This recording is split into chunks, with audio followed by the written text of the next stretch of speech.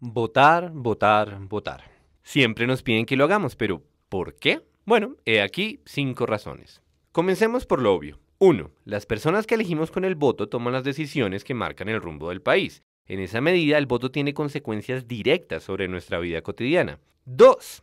No es la mayoría la que elige, sino un pequeño porcentaje de la población. Hagamos las cuentas de cómo han funcionado las elecciones presidenciales de los últimos 20 años para que vean. El 100% son más de 30 millones de electores. Colombia tiene más habitantes, pero estamos hablando de aquellos que tienen derecho a votar. La cuestión es que solo se presentan a las urnas entre el 40 y el 50% de sus 30 millones. Eso quiere decir que los candidatos que pasan a segunda vuelta con el 25% de los votos en realidad pasaron con el 10% del apoyo de todas las personas que podían votar. Luego viene la segunda vuelta que implica un voto estratégico y resulta que el 25% de los votos posibles es suficiente para elegir a un presidente. Y ese es el caso de la elección más grande del país. Hay alcaldes que son elegidos con un porcentaje todavía menor. Esta gráfica es bastante nociva y votando es que podemos cambiarla.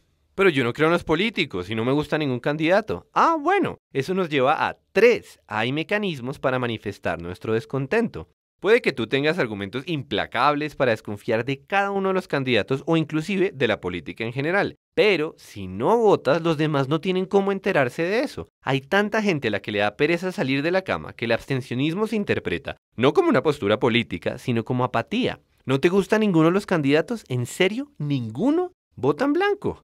Eso es un mensaje claro y tiene el potencial de cambiar el modo en que hacemos política en este país. Por cierto, el voto en blanco no se suma a ningún candidato, eso es un mito.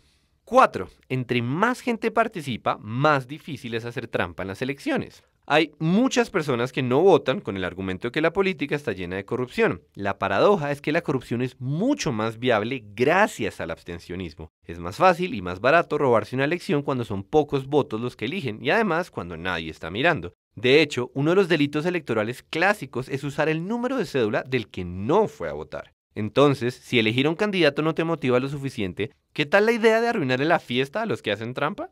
Finalmente, 5. El acto de salir a votar va más allá de las cifras. Suele decirse que un voto no es suficiente para inclinar la balanza, pero tal vez estamos mirando la situación desde la perspectiva equivocada. El hincha de fútbol, por mucha barra que haga, no tiene cómo alterar el resultado, pero igual va al estadio y apoya a su equipo.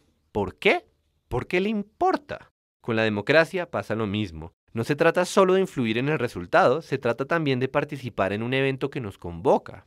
La gracia de participar en una elección es que nos invita a pensar concienzudamente sobre el tipo de lugar en el que queremos vivir, nos ponemos a hablar con nuestros amigos y con personas que piensan diferente, nos enteramos de todas las cosas que pasan en el país y eso, a su manera, tiene mucho más impacto que cualquier voto en particular. Entonces, sí, vale la pena votar y también vale la pena compartir este video.